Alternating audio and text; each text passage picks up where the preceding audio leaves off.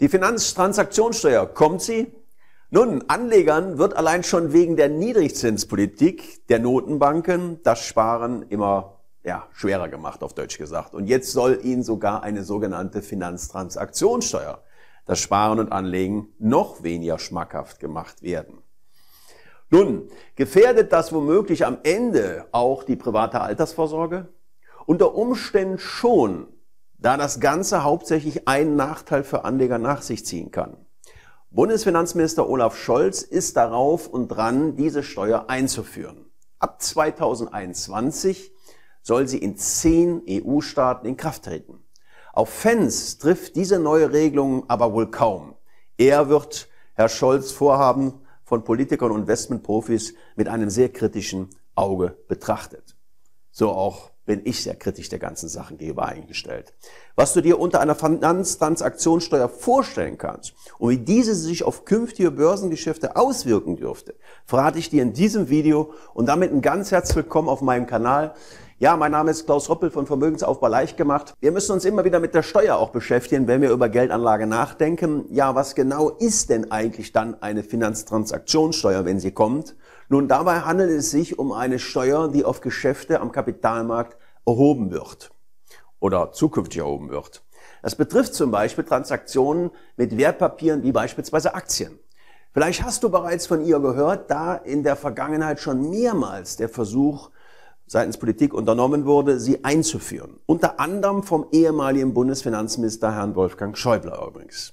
Anlass dafür bot die Finanzkrise im Jahre schon 2008 dazu. Der Versuch blieb jedoch seinerzeit erfolglos und Schäubles Plan scheiterte damit auch. Momentan ein neuer Versuch gestartet, arbeitet nämlich der amtierende Bundesfinanzminister Olaf Scholz an der Umsetzung einer neuen Version dieser ja, Neuauflage von Finanztransaktionssteuer. Der Grund, die Finanzierung der Grundrente.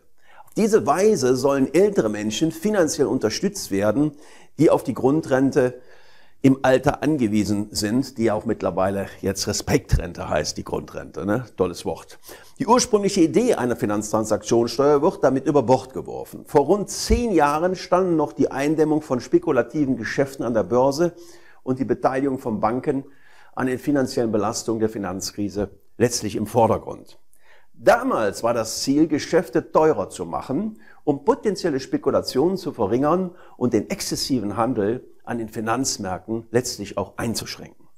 Das bedeutet, ursprünglich sollte eine solche Steuer Anleger schützen und als eine Art Versicherung fungieren. Scholz Version der Steuer fördert wiederum genau das Gegenteil. Deutsche Privatanleger werden stattdessen benachteiligt. Ihnen machen jetzt schon die Null- und Negativzinsen auf Bankkonten, Sparbüchern, Bundesanleihen und so weiter ganz, ganz heftig zu schaffen. Die tatsächliche Einführung dieser möglicherweise neuen Steuer würde den Vermögensaufbau beziehungsweise die Vermögensbildung mit Aktien meiner Meinung nach zusätzlich dann erschweren. Für die Altersvorsorge wird das wiederum klar auch negative Auswirkungen bedeuten, obwohl sie aufgrund der niedrigen gesetzlichen Rentenzahlungen eigentlich zunehmend immer bedeutsamer und wichtiger wird und an Relevanz gewinnt. Aber nicht ausschließlich Aktiensparpläne tragen einen Schaden davon. Es könnten aber auch Riester- oder Rürup-Verträge mit einem Fondssparplan werden, die dadurch dann möglicherweise auch nicht mehr so rentabel sein können. Grundsätzlich sind ebenfalls Aktienfonds, passive ETFs und Lebensversicherungen betroffen. Anleihen und spekulative Investitionsmöglichkeiten werden demgegenüber wahrscheinlich nicht besteuert. Nun, die Folgen bekommen insgesamt um die 10 Millionen Bürger zu spüren. Nach Schätzung der EU-Kommission würden sich die jährlichen Steuereinnahmen auf ungefähr 3,6 Milliarden Euro dann belaufen. Davon wird die eine Hälfte, also rund 1,8 Milliarden Euro, zur Reduzierung der nationalen Beiträge der zehn beteiligten Staaten zum EU-Haushalt verwendet. Die restlichen Einnahmen verbleiben bei den Staaten, die diese Steuer erheben und stehen ihnen dann so der Plan zur freien Verfügung. In Deutschland würden diese Beiträge dann unter anderem in die Finanzierung der sogenannten Grundrente oder das neue modische Wort Respektrente fließen.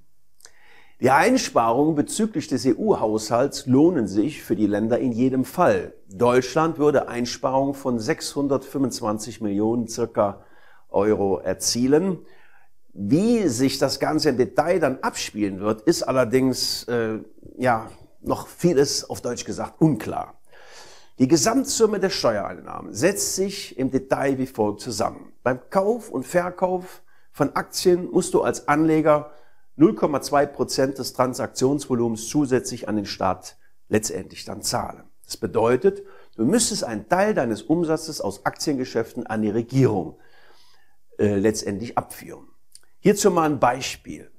Nehmen wir mal an, du investierst in den deutschen Aktienindex DAX und kaufst dort enthaltene Aktien im Wert von rund 20.000 Euro. Davon müsstest du im Folgenden 50 oder 60 Euro dem Finanzministerium dann zukünftig überlassen. Dabei ist jedoch zu beachten, dass noch weitere Kosten für die Bank, das Depot oder auch letztendlich für den Börsenmakler durchaus anfallen. Die hinzukommenden Steuerzahlungen würden demnach also zu spüren sein, denn sie mindern die Rendite. Vorhin war schon die Rede von zehn Staaten. Damit ist die Anzahl der europäischen Staaten gemeint, die für die Einführung dieser sogenannten Finanztransaktionssteuer dann schon gestimmt haben. Um diese überhaupt umzusetzen oder umsetzen zu können, müssen sich mindestens neun Länder an der neuen Steuer beteiligen wollen. Erst dann kann sie auf EU-Ebene etabliert werden.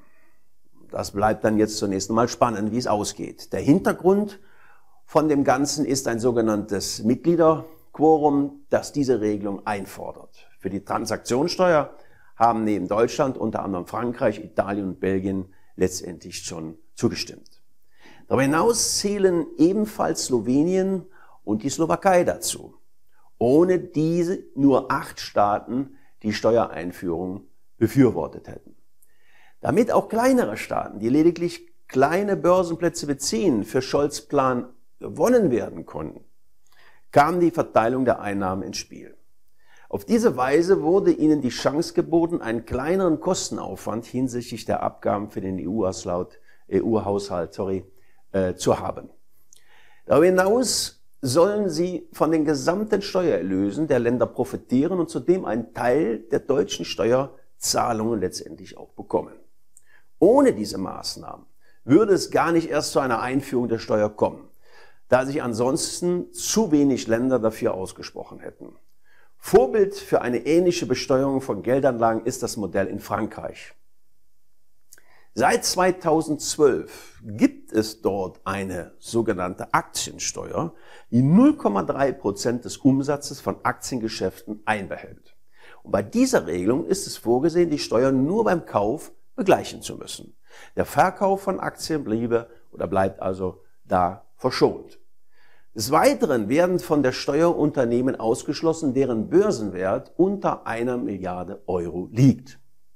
Angeblich soll der Plan von Herrn Scholz gleichermaßen dahingehend äh, vonstatten gehen, aus der Finanztransaktionssteuer nach und nach eine reine Aktiensteuer letztendlich dann auch zu entwickeln.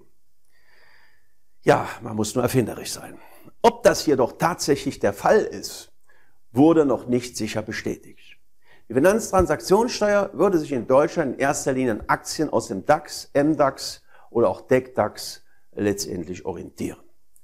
Für Kleinanleger könnte dies fatal sein, da sich viele von ihnen an einer Investition in die großen DAX-Unternehmen interessiert seien. Klar, aufgrund auch der fallenden Zinsen oder Null- und Negativzinsen. Sie wären somit viel mehr von einer Steuer betroffen als große Anleger, die weitere Optionen haben, wie den Aktienhandel in Ländern zu betreiben, die keine Aktiensteuer erheben, wie zum Beispiel Luxemburg. Abschließend kann mal hier festgehalten werden, dass eine Finanztransaktionssteuer für deutsche Sparer letztendlich sehr, sehr teuer werden könnte und den Vermögensaufbau mit Aktien meiner Meinung nach negativ beeinflussen wird. Fondsgesellschaften haben ermittelt, dass die Renditen pro Jahr um 0,1 bis 0,4 Prozentpunkte kleiner ausfallen können.